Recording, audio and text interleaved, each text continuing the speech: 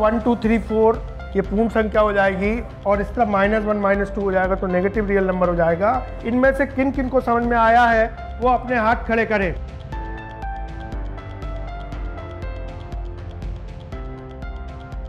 समझ में नहीं आया क्या? जो अभी मैंने दो नंबरों के बीच में डिफरेंस समझाया।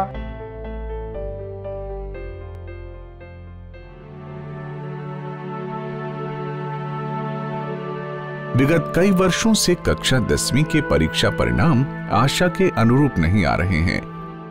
साथ ही विद्यार्थियों के स्कूल छोड़ने का प्रतिशत भी नौवीं से दसवीं कक्षा के बीच बढ़ा है।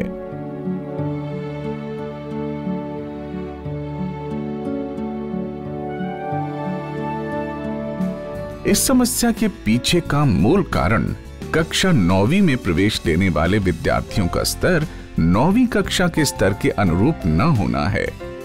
इस वजह से वे खुद को पाठ्यक्रम के हिसाब से सहज नहीं कर पाते और या तो आगे की पढ़ाई बीच में ही छोड़ देते हैं या फिर परीक्षा में सफल नहीं हो पाते हैं। ऐसे में ज़रूरत थी इन विद्यार्थियों की दक्षता स्तर में सुधार लाकर उनके लिए सीखने का स्तर कक्षा नौवीं के पाठ्यक्रम के अनुरूप हो सके और यहीं से ब्रिज कोर्स की अवधारणा ने मूर्त रूप लेना शुरू किया।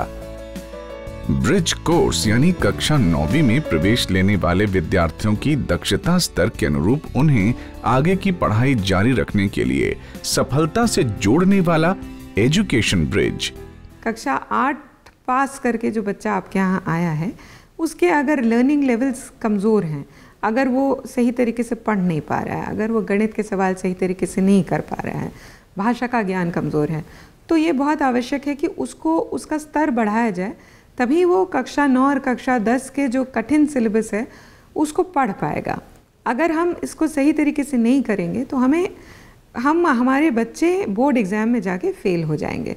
इसलिए ज़रूरी है कि हम सही समय पर और सही तरीके से, जिस तरह से आप लोगों को ट्रेनिंग दी जा रही है उस तरीके से ब्रिज कोर्स को चलाएँ। वैसे तो ब्रिज कोर्स का क्रियान्वयन वर्ष 2011-12 से निरंतर किया जा रहा है। लेकिन विगत वर्षों के अनुभवों और शिक्षकों के सुझावों के आधार पर ब्रिज कोर्स में आवश्यक सुधार किए गए हैं। इस सत्र में संशोधित ब्रिज कोर्स का संचालन 24 जून से 19 सितंबर 2019 तक किया जाएगा। ब्रिज कोर्स के लिए विशेष रूप से अभ्यास पुस्तिकाएँ और टीचर हैंडबुक तैयार कराई गई। प्रत्येक टीचर से मैं कहना चाहूँगी कि ध्यान से हैंडबुक का अध्ययन करें और वर्कबुक का अध्ययन करें। अगर टीचर पूर्ण ध्यान से इन बच्चों को पढ़ाएगी तो निश्चित ये अभ्यास पुस्तिकाएँ और जो हैंडबुक है वो इतनी सरल भाषा में और इतने अच्छे से तैयार की गई है कि हमारे बच्चों के कॉम्पिटेंसीज निश्चित तौर पर बढ़ेंगी।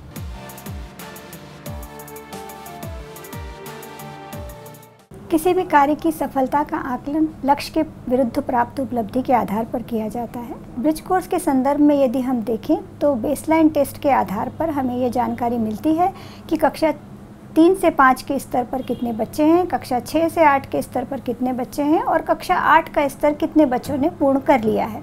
ब्रिज कोर्स के संदर्भ में हमारा लक्ष्य यही है कि कक्षा तीन से पाँच के स्तर वाले जो बच्चे हैं, वो कक्षा छः से आठ के स्तर पर आ जाएँ और जो कक्षा छः से आठ के स्तर वाले बच्चे हैं, वो कक्षा आठ का स्तर पूर्ण कर लें। बेस लाइन टेस्ट के माध्यम से शिक्षकों को कक्षा के प्रत्येक विद्यार्थियों के स्तर का पता चलेगा एवं शिक्षक विद्यार्थियों को हैंडबुक एवं वर्कबुक के आधार पर पढ़ाएँगे।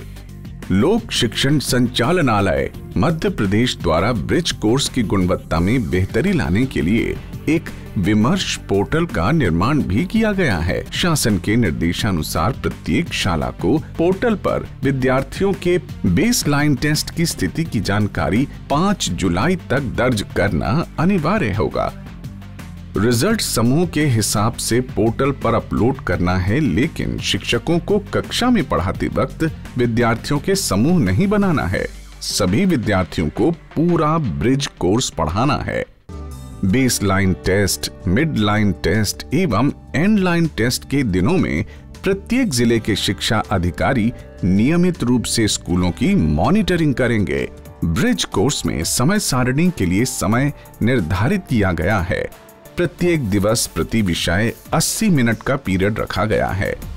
शिक्षकों द्वारा 80 मिनट के पीरियड में से 40 मिनट हैंडबुक से अवधारणा समझाकर गतिविधि करवाई जाएगी तथा अगले 40 मिनटों में विद्यार्थियों को वर्कबुक से अभ्यास करवाया जाएगा। विद्यार्थियों से वर्कबुक में पूछे जाने वाले प्रश्नों की आंसर की शिक्षकों की हैंडबुक में उपलब्ध करा दी गई है। वर्कबुक की एक्टिविटीज़ जो हैं वो बच्चों को निरंतर करवाएँ। हर एक्टिविटी को करवाने के बाद उसको जांचें। और जांचने की विधि कोई बहुत रॉकेट साइंस जैसी नहीं है। जैसे आपके टीचर्स आपके कॉपी जांचते थे, बिल्कुल वैसे ही आपको जांचना है। जहाँ बच्चे ने गलती की है, वहाँ गोल घेरा लगाइए, उसको सुधरवाइए बच्चे से। और फिर सुनिश्चित करिए कि जो उसने सुधार कार्य किया है, उसको आप दोबारा जांचें। थोड़ा सा मेहनत का काम है, लेकिन अगर हम ये नहीं करेंगे तो बच्चों के जो लर्निंग लेवल्स हैं, वो इम्प्रूव नहीं हो सकते हैं।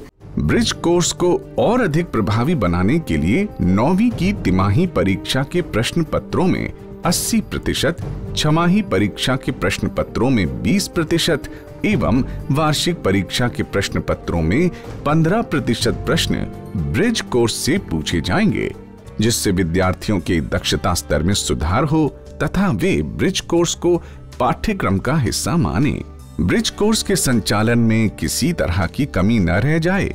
इसके लिए शासन द्वारा राज्य, संभाग एवं जिला स्तर पर नियमित मॉनिटरिंग भी की जाएगी।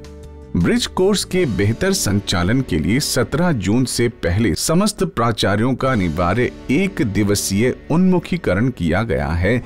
ब्रिज कोर्स के अंतर्गत प्रत्येक ज़िले के लिए आवश्यकता के हिसाब से हिंदी, अंग्रेज़ी एवं गणित विषय के रिसोर्स पर्सन प्रशिक्षित किए गए हैं। प्रशिक्षित डिस्ट्रिक्ट रिसोर्स पर्सन द्वारा ज़िले में इन विषयों के समस्त शिक्षकों को संख्या के आधार पर अलग अलग बैच में प्रशिक्षण प्रदान किया गया है। अब बच्चे नाइन्थ क्लास में अच्छे से पढ़ाई करने लगे हैं और पाँचवीं, आठवीं की दक्षताएँ ढाई, तीन महीने के अंदर पूरी कर लेते हैं वो और शेष समय में वो नाइन्थ क्लास की पढ़ाई कर लेते हैं। इससे नाइन्थ का रिज़ल्ट सुधरा है। जो विद्यार्थी पढ़ाई में कमज़ोर हैं और आठवीं के बाद की पढ़ाई सिर्फ़ इस डर से छोड़ देते हैं कि उन्हें लगता है कि उनका सीखने का स्तर नौवीं के पाठ्यक्रम के अनुरूप नहीं है और वो आशंकित रहते हैं कि वे नौवीं, दसवीं की परीक्षा में सफल हो पाएँगे या नहीं। ऐसे विद्यार्थियों के लिए ब्रिज कोर्स वरदान साबित होगा। ब्रिज कोर्स की वजह से मेरा बेसिक मज़बूत हुआ है और जिसकी वजह से मैं नाइन्थ पास कर पाया हूँ और मुझे उम्मीद है कि मैं टेंथ क्लास में भी अच्छे परसेंटों से पास होऊँगा। ब्रिज कोर्स के कारण अपनी नवी कक्षा पास कर चुकी हूँ और दसवीं में आ गई हूँ। और अब मैं उच्च कक्षाओं में जो मेरा सपना था पढ़ने का वो ब्रिज कोर्स के कारण ही पूरा कर कर पाऊँगी। बढ़े चलो बढ़े चलो। विद्यार्थियों की सफलता के लिए प्रतिबद्ध लोक शिक्षण संचालनालय मध्य प्रदेश की ये पहल प्रदेश में सफलता के नए कीर्तिमान रचेगी। एवं परीक्षा में असफल होने के डर और अज्ञानता की वजह से स्कूल छोड़ने वाले हर विद्यार्थी की हिम्मत बनकर सपनों को साकार करेगी।